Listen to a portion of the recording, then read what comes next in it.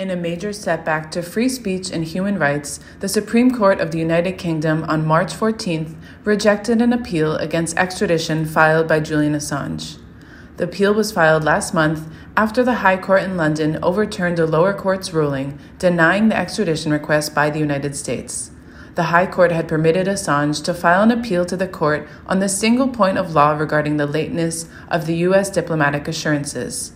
The decision will now be formally sent to the UK Home Office, currently headed by Home Secretary Priti Patel of the Conservative Party government. The extradition request was first certified in June 2019 by former Home Secretary Sajid Javid of the previous Conservative Theresa May government. However, before the final decision, the case will return to Judge Vanessa Baraitser of the Westminster Magistrates Court, who had earlier ruled against the extradition the Home Office will wait the lower court's decision to make the final judgment, after which, depending on the Home Office judgment, a fresh appeal could be filed. The UK Supreme Court has today ruled that the Julian Assange appeal will not be heard by them. They will not grant permission for Julian Assange to appeal to the Supreme Court. And that's really bad news for a couple of reasons.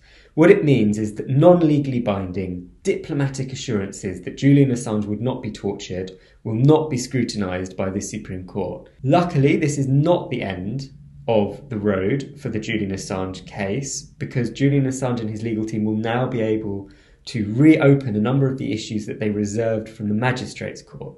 So they'll be able to restart a number of appeal grounds. So this case is far from over.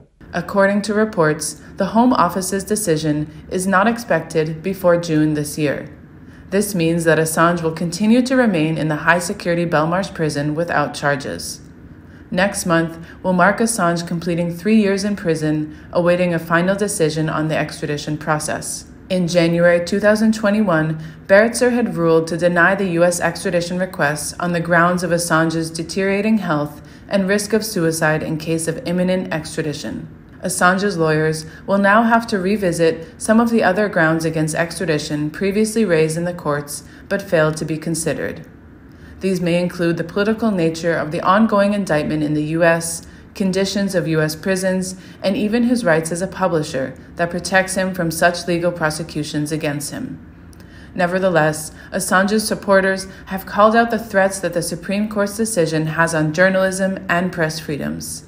If extradited, Assange will face a federal grand jury in the U.S. for 18 counts of charges, 17 of which are under the Espionage Act, for a maximum prison sentence of 175 years. The charges are related to WikiLeaks' publication of classified documents exposing U.S. war crimes in Iraq and Afghanistan, along with other violations of international law.